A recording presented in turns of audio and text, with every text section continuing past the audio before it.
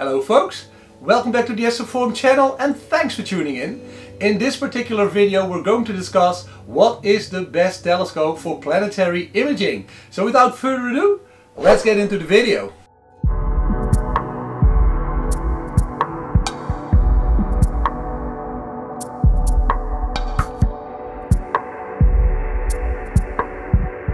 So in the first part of the video I'm going to talk about some must-haves and nice-to-haves that I myself would look for when I would be in the market for a telescope that is fit for planetary imaging. And in the second part of the video I will be comparing a couple of interesting telescopes that are on the astrophotography market today on those must-haves and nice-to-haves that I have mentioned in the first part of the video. And please take into account that I am an amateur astrophotographer myself, living in Utrecht, the Netherlands, a light polluted city where I perform my astrophotography. So uh, if you have any experiences with telescopes and planetary imaging, or maybe you disagree uh, on some of the points that I'm going to mention, please feel free to put your own personal experiences and thoughts in the comment section down below, because I'm always happy to learn and I hope we can all learn from one another. Uh, so yeah, without further ado, let's get into that first part of this video. So the first must-have I would look for in a planetary telescope is that that telescope has high magnification capabilities. And the reason why I say this is that the planets, although they are very bright in the night sky, we can detect them with the naked eye, um, they are also pretty small in apparent size. So uh, even at the best of times, we are talking about 30 arc seconds in, uh, in angular size uh, when looking at most of the major planets. And for those of you who are unfamiliar with angular sizes, just think about the moon. The moon is about 30 arc uh, minutes. So that would mean that even at the best of times, the planets would appear about 60 times smaller as compared uh, to the moon in your field of view. So you really need a telescope that can zoom in on those planets because you also want to image some surface uh, details of those planets. So when you are imaging uh, Saturn or uh, Jupiter, let's take Jupiter, you also want uh, to detect the cloud bands of Jupiter, you want to detect the red spot on Jupiter. If you are imaging Saturn, you want to see the rings of Saturn of course and maybe also the Cassini division. And for, for that you need a high magnification capability. And of course then we are talking about focal length and I would say as a rule of thumb, and you can disagree with me if you want, uh, you need a telescope that has at least about 2000 millimeters or 200 centimeters of focal length in order to detect those surface features on the planets. Um, so let's move on to the second must-have. So a second must-have I would look for in a planetary telescope is that that telescope has a high resolution capability in order to uh, avoid what is called empty magnification. And as an example, everybody has a smartphone and uh, at one point in our lives we tried to image a small object that is a little bit further away.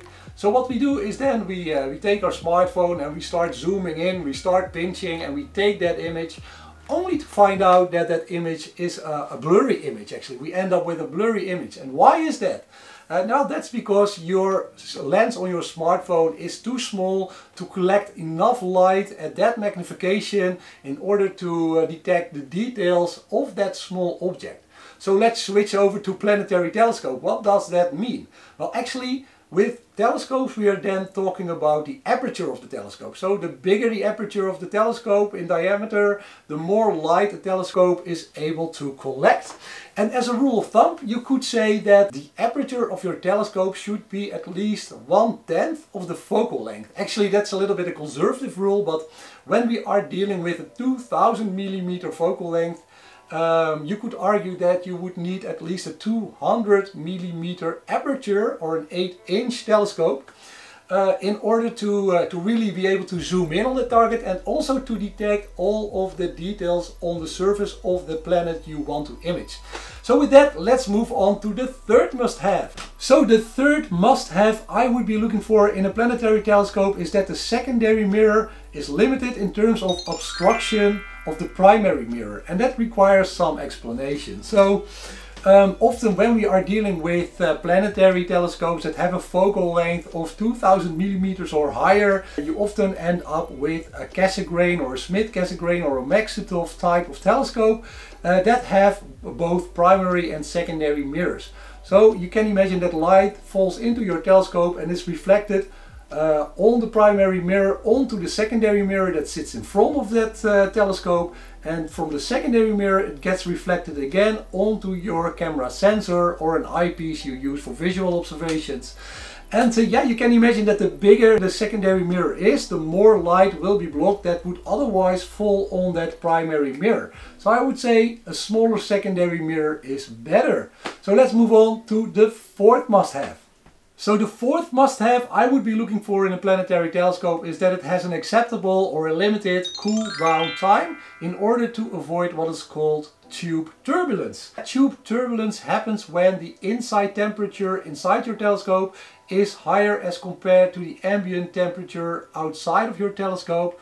This causes the air to vibrate more basically and uh, when that happens you will end up with a more blurry image of a planet uh, as compared to when your telescope is at equilibrium. So the inside temperature of your telescope is similar to the uh, ambient temperature outside of your telescope. So limited cool down time I would say is a fourth must-have. And let's move on to the final must-have. So the fifth and final must-have I would be looking for in a planetary telescope, especially when you're going to use that telescope for planetary imaging, is that the telescope has a fine focuser. So we're going to zoom in on a very small target, a planet that is uh, somewhere out there in the night sky. And um, of course it will then take uh, a lot of effort to bring that target into focus. And when you have a fine focuser and you can make very small adjustments in your focus, uh, that is a lot easier as compared to some of the coarse internal focusers some of these telescopes have. So let me just quickly mention three nice to haves that I would also take into consideration and those are personal I think. So the first nice to have is that I would like a telescope that is not what is called a dew magnet. And uh, yeah, we uh, this is personal maybe because I live in the Netherlands. We have a sea climate with a lot of rain. And you, I know that some of the telescopes, they attract a lot of dew. And of course there are also ways to deal with dew, with dew caps and dew heaters and so on. But uh, if given the choice, I would prefer a telescope that is not uh, attracting a lot of dew. So the second thing I would be looking for is that the telescope is uh, pretty portable in terms of weight, but also yeah, portable and storable in terms of size because I live in the city. I don't have a lot of storage spa space for my astrophotography gear unfortunately. So I would be looking for uh, yeah like a portable and storable uh, telescope as well. And the third thing I always look for uh, in any kind of telescope is uh, maintenance. Uh, of course I prefer telescopes that require low maintenance but I guess with these kind of telescopes we are dealing with reflector types of telescopes so they would all need some degree of collimation uh, at the least. So uh, yeah, those are the three things I'm looking for. So uh, not a dew magnet, uh, portable and storable and uh, low in terms of maintenance. Uh, so yeah, let's now move on to the second part of the video where we uh, are going to discuss some of the telescopes that are on the astrophotography market today. And let's compare them to the must-haves and the nice-to-haves that I have just mentioned.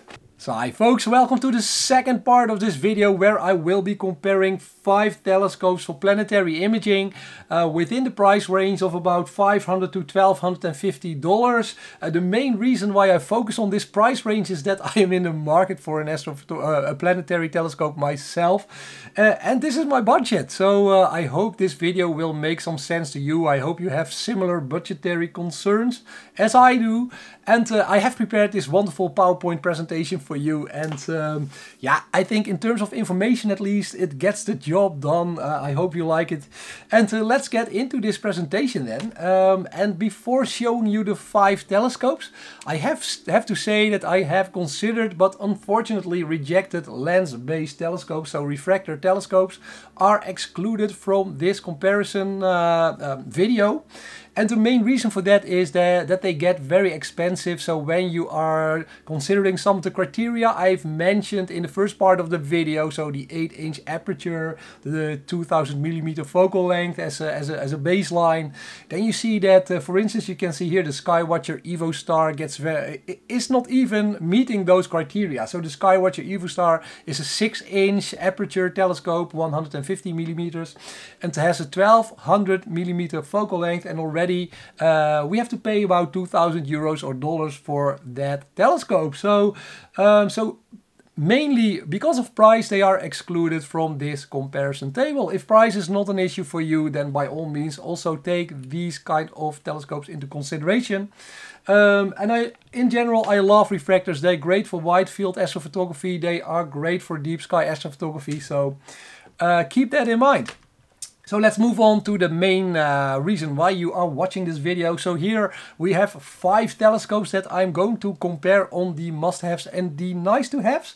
The Skywatcher PDS Explorer, let's start with that. This is a Newtonian reflector that is already available for about 425 euros or $500 in the US. And actually in the US, Skywatcher is always rebranded as Orion, so uh, watch out for that. And uh, yeah, actually I wanted to uh, include one cheaper alternative as compared to all of the other telescopes that you can see here in this comparison table. Um, so that's this one, the, the Newtonian reflector. Um, let's move on to the Schmidt Cassegrains. I think these are the two, yeah, one of the two most popular Schmidt Cassegrain telescopes uh, that a lot of uh, astronomers own actually. So we have the Celestron C8 XLT here uh, and the Meade LX200, also the 8 inch version. And uh, what is actually very interesting is, uh, unfortunately for me, in Europe the prices are a lot higher as compared to the US. So you will pay uh, 1260 euros and 1390 euros for the uh, Celestron C8 or the Meade LX200. Whereas in the United States they are a lot cheaper. They, you only have to pay 800 uh, euros for the Celestron C8 although I saw this was really a good bargain at OPT right now, so uh, maybe this uh, price will fluctuate, of course, in the future. So I will put a link to all of these telescopes in the video description below, so you can check out the latest prices if you are interested in them. Um, and uh, yeah, so uh, OPT had a great uh, a great sale for 800 euros, 795 actually. You could buy a Celestron C8 XLT. Um, and the Meade uh, telescope, yeah, is available for about $1,100 in the United States, so also a lot cheaper. I think we have to pay a lot of VAT to import these telescopes in Europe, so that would be the main reason.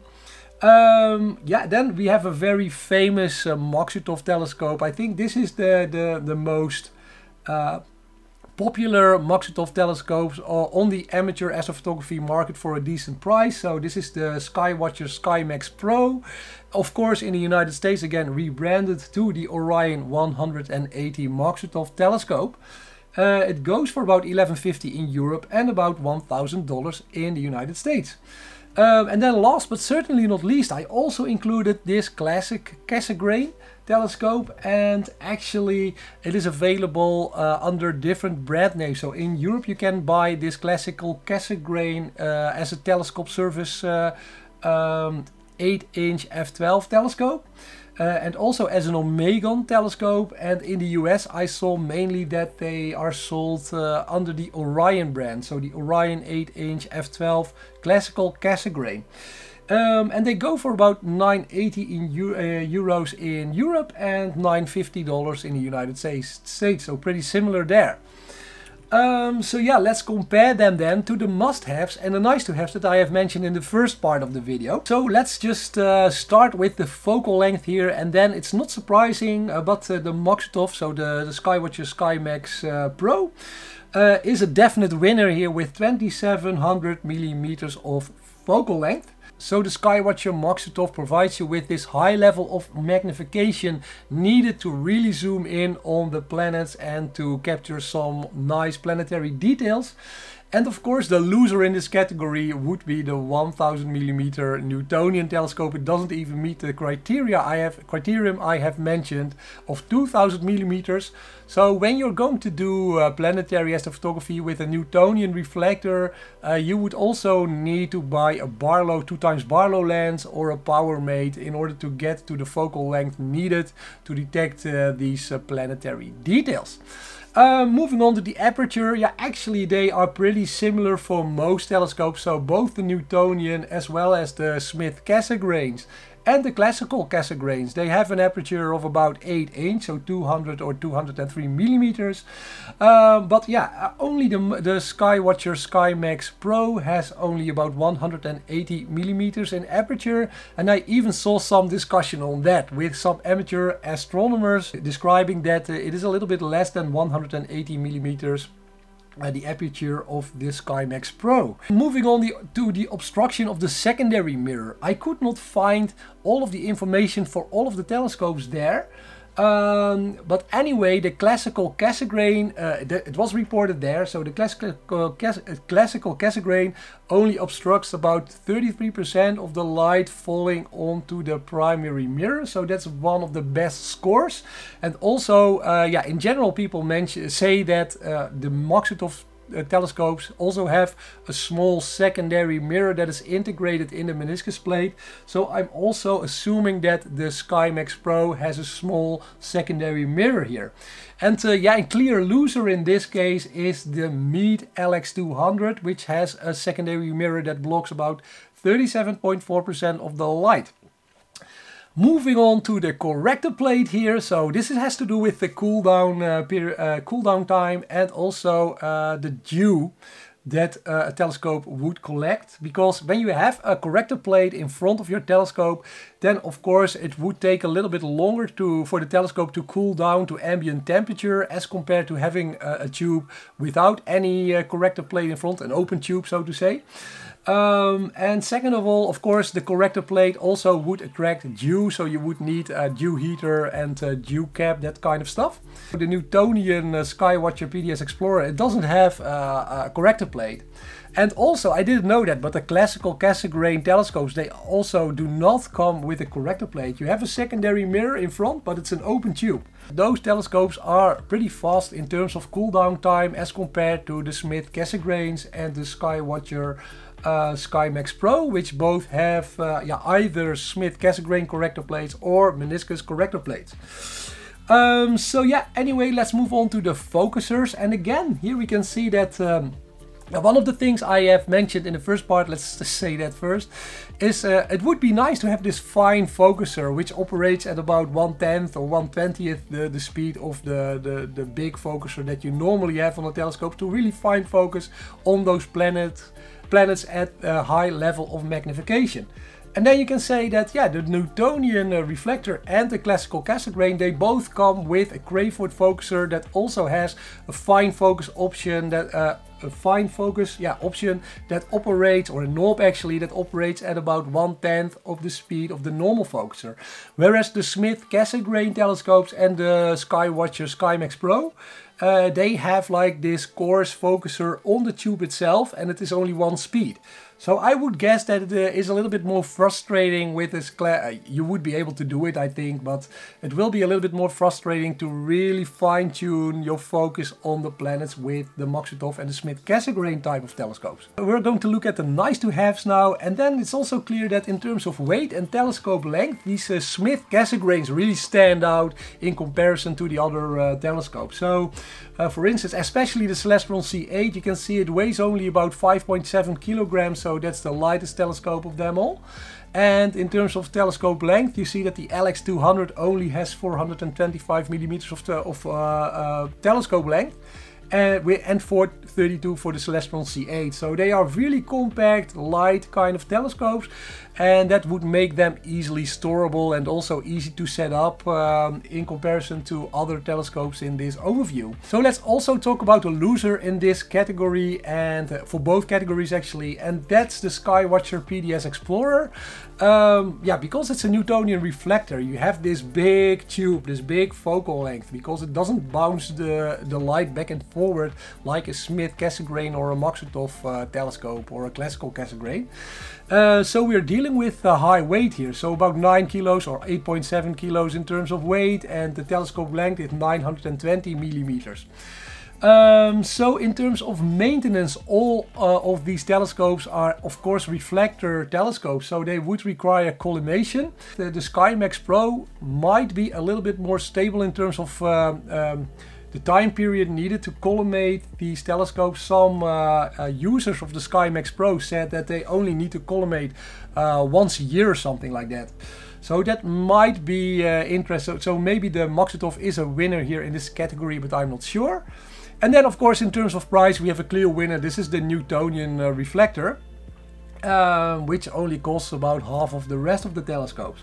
Yeah, I also counted uh, in quantity which of the telescopes uh, were ticking most of the criteria, most of the, uh, the, the must-haves and the nice-to-haves that I was looking for. And then I came to a surprising conclusion that actually uh, the classical Cassegrain ticks most of those boxes. So it has a, has a decent aperture, an 8-inch aperture.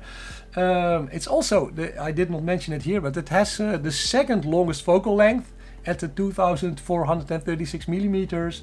Um, the secondary mirror only has a, yeah, low percentage of obstruction, so that's nice. Uh, I think the open tube would also be nice because it uh, leads to a, a, faster cool down time. And it comes with a 1 10th speed focuser as well. So there's lots to, lot to be said for the classical Cassegrain. And uh, also I didn't see that the classical Cassegrain performed worst in any of the categories. So maybe I'm missing something. Please inform me when I am missing something. If you have any experience with classical Cassegrains, let me know. Um, but yeah, let's move on to the final slide here. And then I would say that yeah, because of that, I would say I would consider actually the classic Cassegrain. So the telescope service, or I, I, I, the GSO has to be Omegon. So you have telescope service, Omegon, and Orion. They, uh, yeah, they uh, sell these uh, classical Cassegrain telescopes, uh, the f12 types, for about 980 or 950. I think this is a pretty good deal actually. And uh, but yeah, if you're looking for a planetary uh, telescope, of course you cannot, uh, you should always also consider the SkyMax Pro, the Maksutov uh, telescope, which is actually made for planetary imaging. It is, uh, of course, it's a slow telescope, f15, and that would make it perfect for planetary imaging. It has the longest focal length, so you will really be able to zoom in uh, on those planets with high levels of magnification, so that's also really nice. And then the Celestron Schmidt Cassegrain I would say is a good third because uh, yeah, it, it is lightweight, it's compact, um, it's an f10 so you might also consider uh, to do some deep sky astrophotography with the Celestron C8 XLT as well. If you buy a reducer with that telescope you could also engage in some uh, maybe planetary nebula or globular cluster imaging. Um, so yeah, or galaxies would also be nice. So I think maybe the Schmidt Cassegrain, the Celestron C8 is the best all-round telescope in this overview. And uh, yeah, that's all I have for you guys. I hope, uh, or girls also of course. Uh, I hope this information was useful for you. If it was useful, please consider giving a thumbs up to this video and please consider subscribing to my channel. I always uh, appreciate that a lot of course and I hope to see you again in one of my other videos. And until then, I of course want to wish you clear skies. Bye bye.